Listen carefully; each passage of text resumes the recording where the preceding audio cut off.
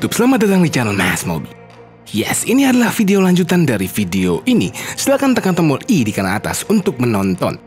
Dari semenjak video itu, kami langsung melakukan pentransparansian ini. Dan setelah ditransparansikan, Metri Pro ini kami pakai menjadi daily driver utama kami. Hingga video ini dibuat. Oke, pertama kami ingin memberitahukan kepada Anda kalau kami memang saat ini belum bisa melepas keberadaan Google dan kami sudah menyematkan Google di Mate 30 Pro kami. Kami taruh di deskripsi cara menyematkannya. Dan kami tidak merasakan sama sekali ada perbedaan memakai Huawei sebelum dan sesudah di ban sama Amerika. Jadi seperti pakai handphone Android biasa aja. Eh, tapi ada tapinya. Tapi kami merasakan dampaknya berikut ini. 1.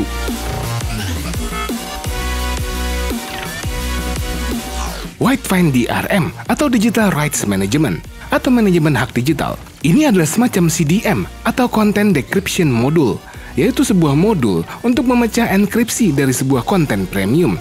Jadi, ini adalah semacam kunci untuk bisa melihat konten premium seperti Amazon Prime Video, Netflix, Disney Plus, dan konten-konten streaming berbayar lainnya itu. Konten berbayar itu baru bisa terbuka konten premiumnya dengan syarat adanya Whitefine DRM di device yang terinstall app-nya. Ya, intinya mereka tidak mau konten yang gampang dibajak. Nah, karena Whitefine DRM itu yang punya adalah, ya, you know who, Google sendiri. Jadi Whitefine DRM itu juga tidak hadir di handphone ini dan Netflix tidak ada di Play Store yang Mate 30 Pro. Karena juga Play Store yang hasil site loading di Mate 30 Pro kami ini juga tidak punya sertifikasi. Jadi kalau search Netflix, tidak ada. Dan kami coba download APK terbarunya dan tidak bisa digunakan. Tapi kami selalu mencari cara, yaitu install versi sebelumnya, yaitu versi 4.16. Dengan versi ini, kami tetap bisa nonton Netflix. Hanya saja tidak bisa lihat versi Full HD-nya. Begitu juga Amazon Prime Video, tapi Prime Video ini tidak perlu cari versi yang lain. Karena Amazon support Microsoft Play Ready DRM. Ya, DRM milik Microsoft. Dari sini, Anda pasti bertanya-tanya, sebenarnya kenapa hanya Google yang di-ban? Microsoft tidak, Facebook tidak. Perasaan yang kami sebutkan tadi perusahaan Amerika. Ya kan, Mark Zuckerberg Eh, ya udah minum dulu, minum dulu, minum.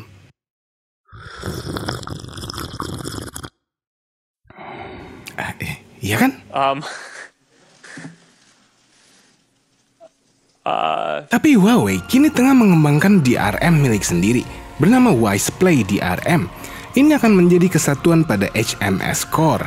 Dan seperti layaknya Whitefine DRM, WisePlay DRM juga gratis bagi para pengembang konten premium berbayar untuk mengaplikasikannya. Ya, hanya saja butuh waktu agar pemilik konten streaming berbayar support WisePlay DRM.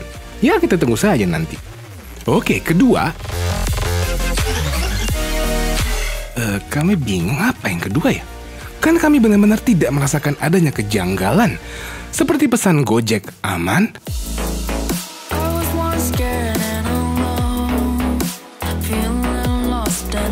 I was browsing Twitter malam-malam aman. Eh, tapi kami menemukan bahwa apabila Anda menyematkan Google belakangan ini ke Mate 30 Pro Anda, sepertinya Google telah melakukan pengetatan. Jadi user Mate 30 Pro yang install GMS sebelum bulan Maret 2020 ini masih aman. Kalau setelah bulan Maret, ada beberapa user Mate 30 Pro yang mendapatkan notifikasi aneh dari Google-nya. Tapi tenang, sudah ada yang bisa mengakalinya. Kami taruh link di deskripsi untuk menonton cara terbarunya. Dan yang paling kami baru sadar adalah bahwa WiFi dan sinyal itu paling baik di antara handphone-handphone kami yang lain. Huawei itu mbahnya networking. Kami benar-benar merasakan sinyal handphone Huawei itu tidak bisa dikalahkan sampai saat ini. Ya ini kami memakai router ROG Raptor GTAX 11000 yang kami tidak menyangka sinyalnya ini top banget sampai ke mana-mana. Ini rekomen buat rumah atau kantor yang mempunyai beberapa lantai. Nah, beberapa dari Anda pasti sadar bahwa 30 Pro kami pecah layarnya. Ya, kami memang sangat jarang sekali menjatuhkan handphone. Tapi, ya namanya kecelakaan dan human error pasti bisa terjadi. 30 Pro kami yang baru beli itu jatuh ketika kami melakukan tes kamera kemarin dan pecah pinggirnya ini. Dan kami sangat beruntung, Meta T Pro yang kami beli masih ada garansi layar pecah hingga bulan Maret. Dan kami langsung ke Huawei Customer Service Center yang di Taman Anggrek. Sampai sana, ambil cue cardnya dan langsung dikerjakan. Dan setelah 1 jam 6 menit, sudah selesai. Cepat sekali. Hal-hal seperti ini yang membuat kami salut dengan keseriusan sebuah brand untuk jualan di sini. Oh ya, ini kalau tidak ada garansi harus bayar 3,3 jutaan. Hah, untung masih garansi. Oke, sekarang mari kita transparansikan. Kami sudah beli back covernya ini dari sebelum Meta T Pro bisa dibeli resmi di sini. Langsung kami transparansikan back cover cadangan ini. Kita lihat dari pinggir apakah ini tipe stiker? Hmm, ini tercongkel sedikit. Seperti ini bukan tipe stiker. Eh, kami jadi ingat pernah bilang ini. Berdasarkan pengalaman kami, karena ini sekelilingnya agak curve bentuk kacanya, maka kami memulai dari yang rata, yaitu bagian kameranya. Mulai dari yang rata deh, di bagian flashnya. Yes, ini tipe stiker. Langsung kita tarik. Nah, apakah logo Huawei-nya ketarik juga? Dan tidak. Hah, ini kok jadi pecah-pecah gini? Sepertinya ini non-ori. Hmm, sepertinya. Dan sekarang sudah bening. Nah, ini bulutan kameranya ternyata hanya finishing dari stiker ini ya. Tapi ya ini bukan ori. Nggak tahu deh yang ori seperti apa. Dan lihat ini, logo Leica masih ada dan logo Huawei-nya juga. Hmm, memang selalu senang melihat yang bening-bening ya. Eh, dan eh, kok ini bolongan kamera covernya kotak ya? Hmm, jangan-jangan salah beli nih kami. Hmm, aneh ya. Atau jangan-jangan memang seperti ini. Cuma ada satu cara untuk membuktikan. Langsung kami buka Mate 30 Pro kami. Sebelum kami lanjutkan, perlu Anda tahu bahwa membuka barang salvasi adalah kalah mahal dan kami sama sekali tidak melakukan yang sebelum ini. Ya itulah. Seperti biasa, dipanaskan dulu untuk melelehkan lemnya. Tarik pakai alat ini dan selipkan. Dan singkirkan lem-lem yang sudah meleleh itu di sekelilingnya ini. Dan sudah terbuka, melihat back covernya ini jadi semakin yakin kalau yang kami beli cadangan ini adalah palsu. Lihat yang asli seharusnya ada print-printan kotak-kotak ini. Dan terjawablah sudah bahwa Mate 30 Pro ini memang seharusnya memiliki kamera kotak. Bulutan besar ini hanyalah pembeda saja dari Mate 20 Pro.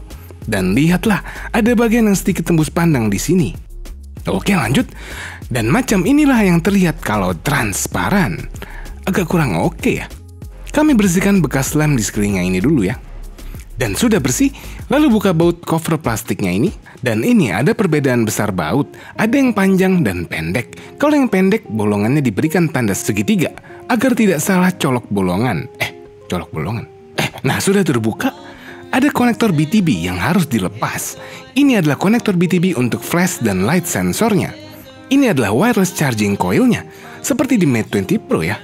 Kami juga pernah transparansikan. Klik tombol i di kanan atas untuk menonton. Dan kami penasaran sebenarnya di mana sih letak antena NFC-nya?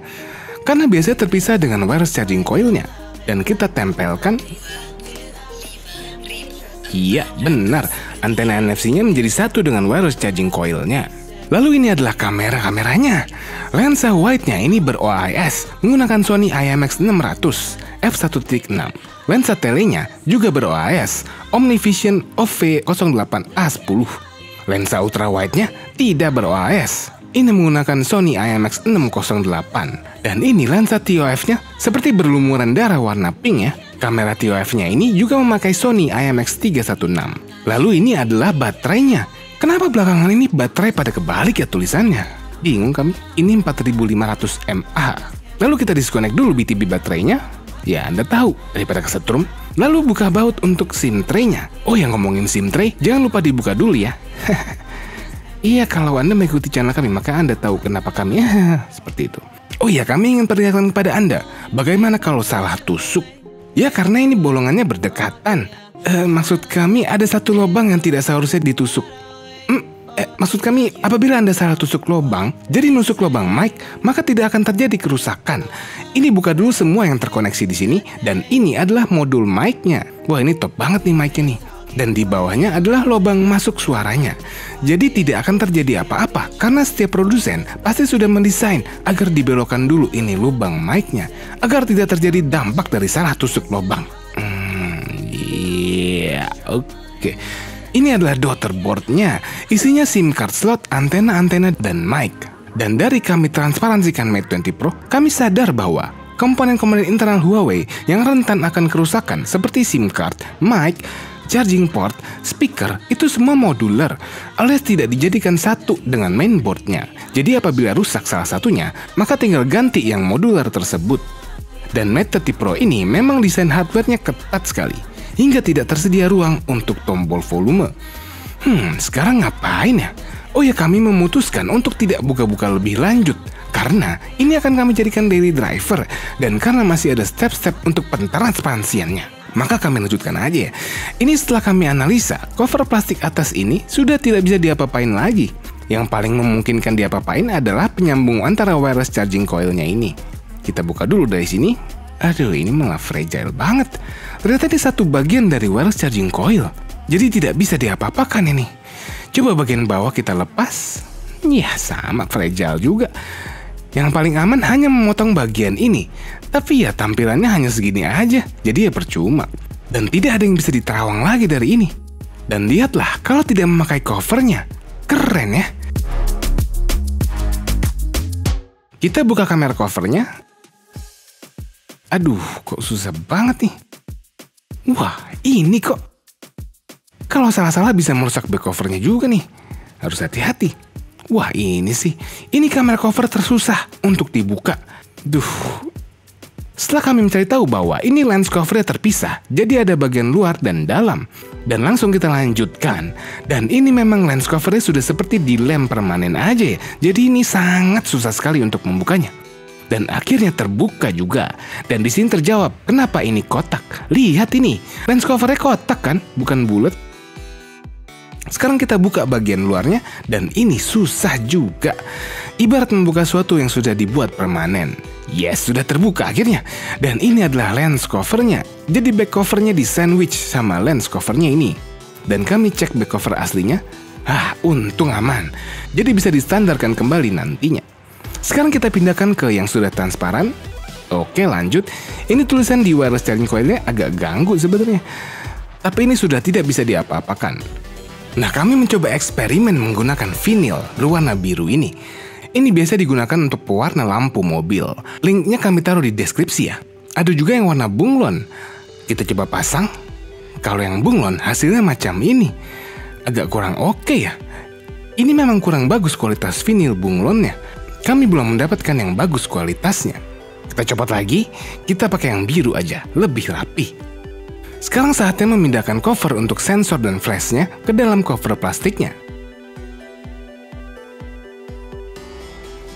Oke, sudah terpasang. Sekarang bersihkan lem yang ada di kamera covernya.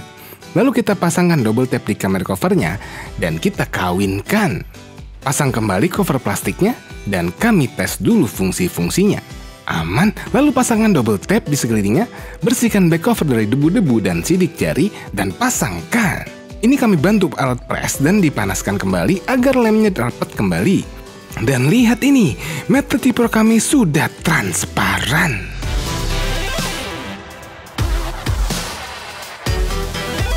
Overall, Mate 30 Pro ini merupakan penyempurnaan dari Mate 20 Pro dan P30 Pro. Memiliki dua kamera yang bisa menangkap completely dark dan lensa zoom yang tidak kalah dengan P30 Pro dengan penangkapan mic yang sudah diperbaiki dari P30 Pro sekalipun.